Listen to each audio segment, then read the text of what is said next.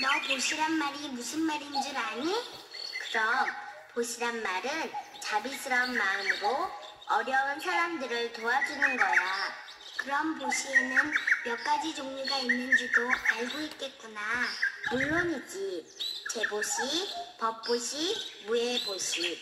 이렇게 세 가지의 종류로 구분한대. 맞았어.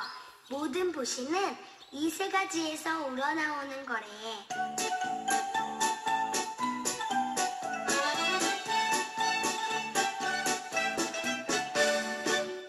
제보시는 무엇을 말하는지요?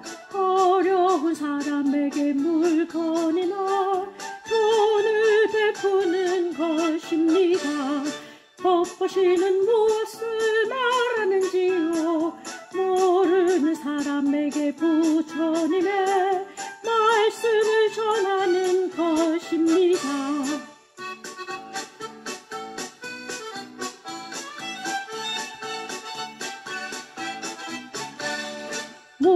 보시는 무엇을 말하는지요?